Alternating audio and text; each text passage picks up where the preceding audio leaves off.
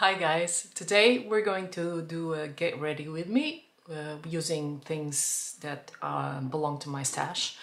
Uh, the things, basically the things I showed you in the first get ready with me up here. I'm going to do uh, eye look using Sample Beauty pigments. This time I'm not going to just fool around with the pigments, I'm going to try and do a real look. Let's see how I do. I'm going to do my eyes first because I'm pretty sure there's going to be a lot of fallout, fallout and I want to be able to clean up before uh, doing the rest of my face so that I can get a clean look. So without any further ado, let's start. My face is already hydrated and I'm going to proceed with the primer so it can set while I do my eyes and then it's ready when I do my foundation. Warm it up in my hands, spread it around. This is really relaxing. Spread it in upward movements. I'm going to use this NYX eyeshadow base because I, I found it to work really well with my eyeshadow in my last video. I used these pigments. They actually lasted all day in my eye without budging. The eye look wasn't my best performance yet. Ooh, I need to pluck these eyebrows. But I was just really playing with pigments for the first time to see how they work. Probably going to need to wet my brush. There you go, white eyes. Get my brush. There are uh, several techniques of doing your eyeshadow. Some people like to do to start with a darker crease color first and then uh, blend it away with a lighter color for transition color upwards toward the brow, brow bone. Another technique is to start with your transition color and darken it up with uh, with your crease shade and uh, outer corner darker color. I think I'm going to start with the darker color this at this point, at this time. Wish me luck. So we're going to start with a matte shade. Shade 5B, which is this gorgeous green. This is going to be my darker color. I'm a little nervous. I'm a little nervous because, dude, I've never tried to do a real look with pigments before. Let's see how this goes. Wow, these are pigmented. Awesome.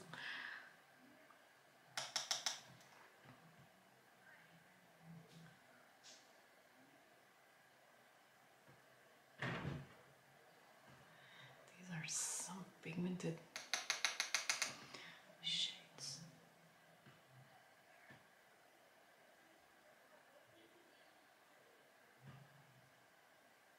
Get out a little.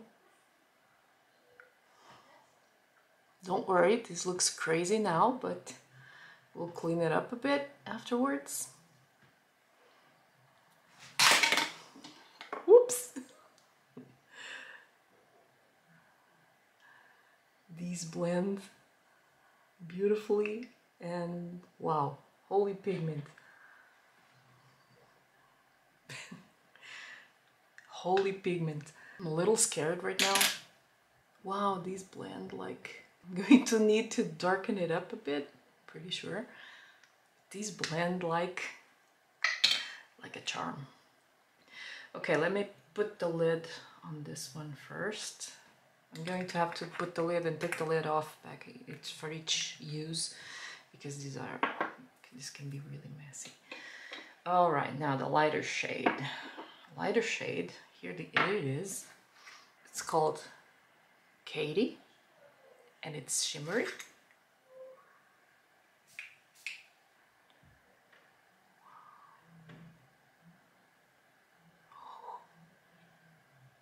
wow Holy foil.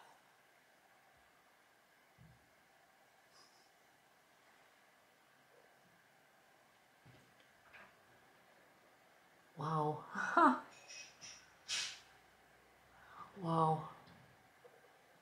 Oh, isn't this gorgeous?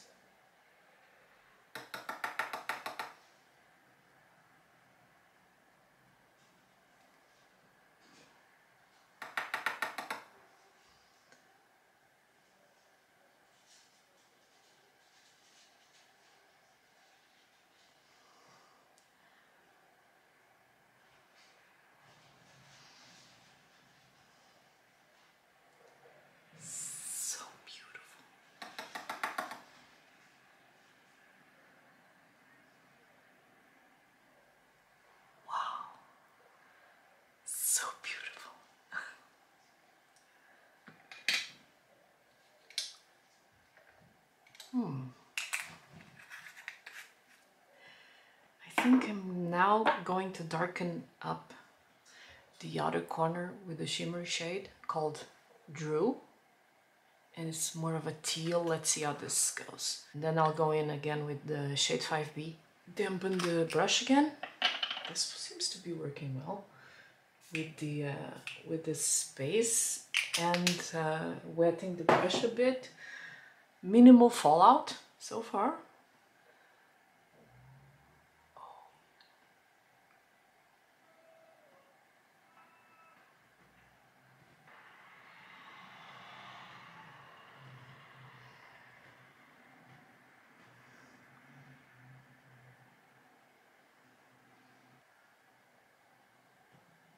Wow, it's not done yet.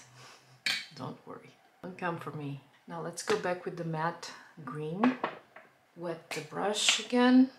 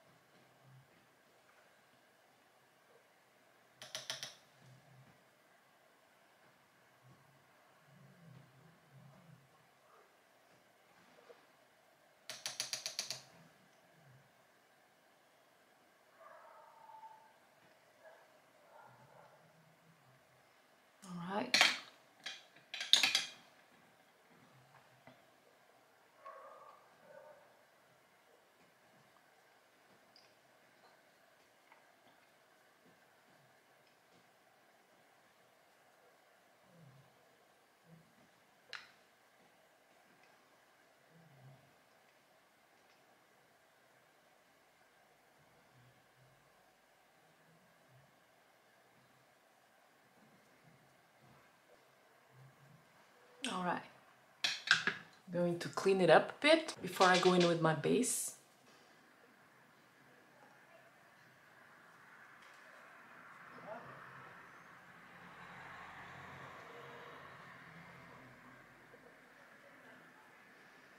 There you go.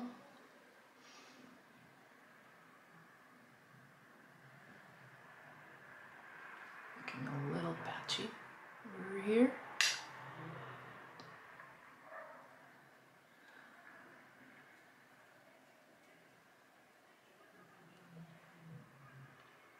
These blend like a charm. I'm telling you, I'm, I'm really not a pro. And these are easy to use. Now this, I, I realize this is not a very elaborate look and it's probably not an everyday look for everyone, but I, I do wear this kind of look for work when I, when I go to work. I, you know, when it's, when we're not in lockdown or something which is the case at the moment, so not going anywhere, but uh, in normal times I do wear makeup like this to work. Fortunately, I work in a place where you're allowed within reasonable limits to express yourself this way. It is important to note that I don't deal with customers directly but we do have meetings with the directors, board.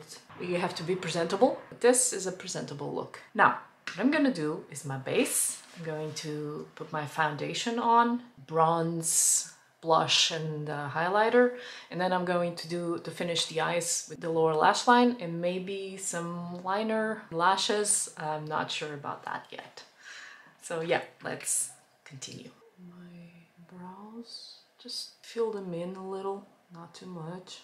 I found out that this I've been using this powder and it's too warm for me and uh, too dark.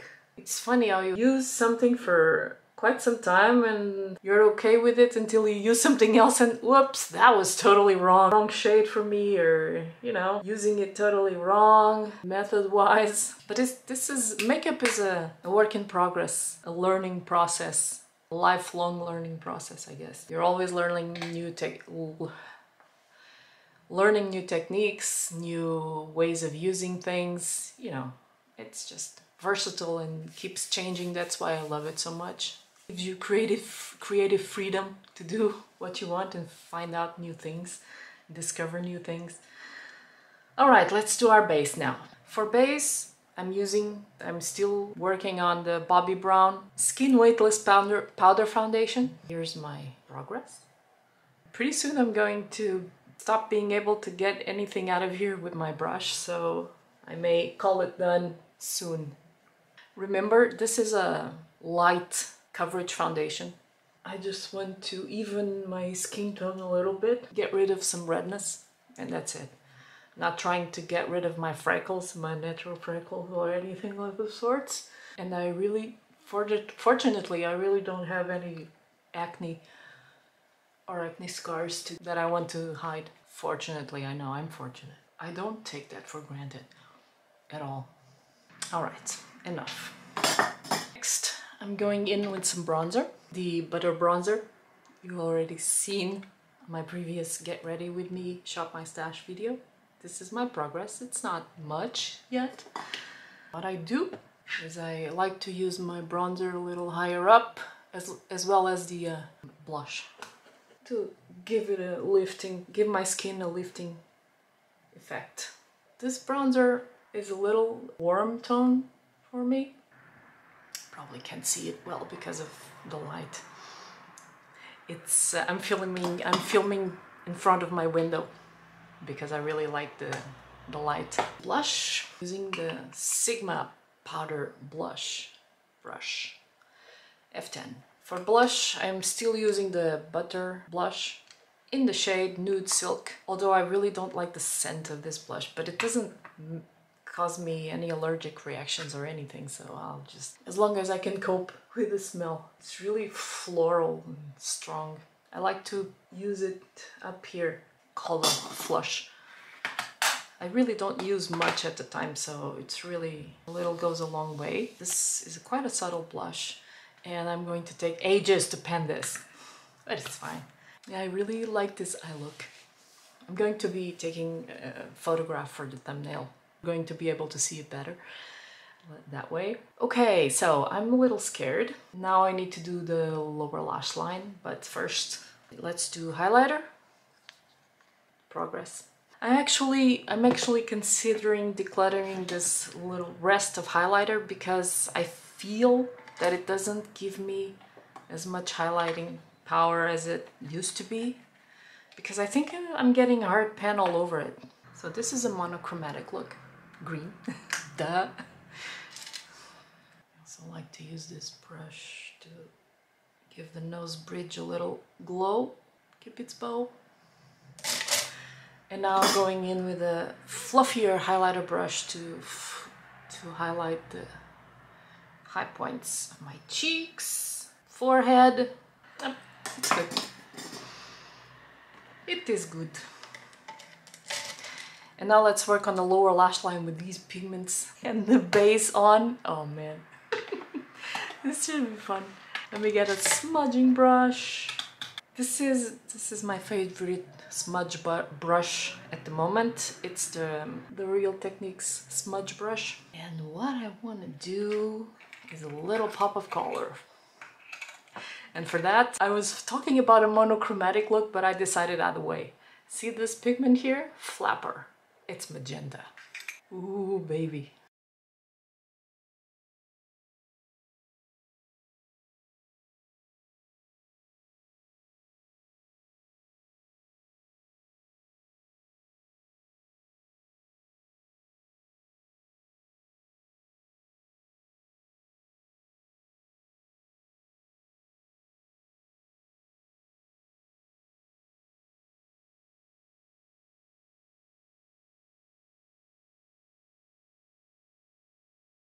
I'm not mad at it. Magenta. Gorgeous color. Mood crayons from Linda Hallberg.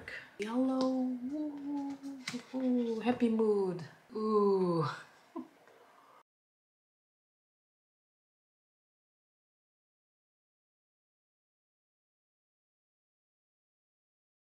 Okay, let's add some lashes, shall we?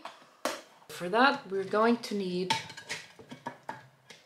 liner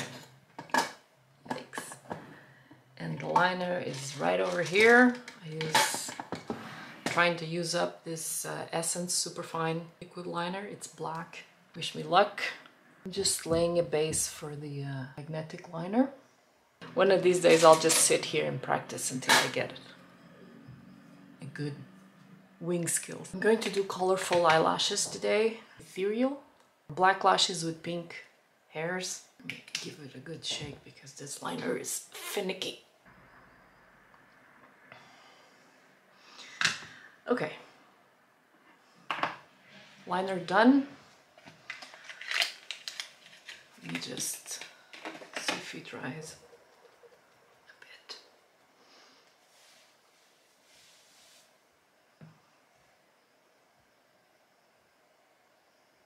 This look brings out the green in my eyes.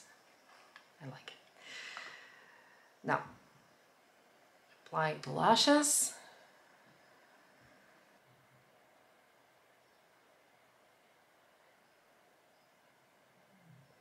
Much liner probably. That thick line. Let it dry off a little bit. This one's on here. Perfect. It's curious. It's interesting because the band on these lashes is thicker and oops. The band on these lashes on this type. See the pink? It's thicker and stiffer than the other than the other styles I've tried so far. And now uh, we still have to do the lip, right? Uh, I'm trying to use up this, uh, you already know it, this Nude by Nature uh, Dusky Nude. So this is what I'm going to do.